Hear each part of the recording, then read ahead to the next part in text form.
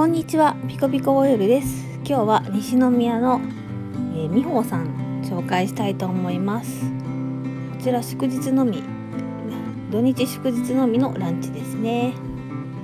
JR 甲子園口駅近くの美穂さんです。はいこちらのお店結構実は有名なお店で JAL の機内誌に載ったり、えー、昔の野球選手さん来てたりとかですね。はい。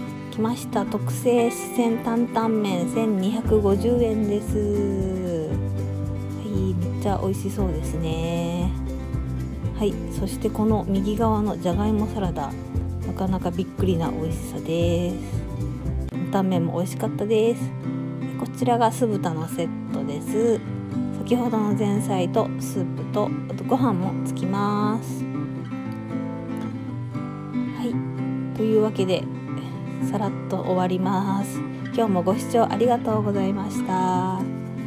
おすすめのお店です。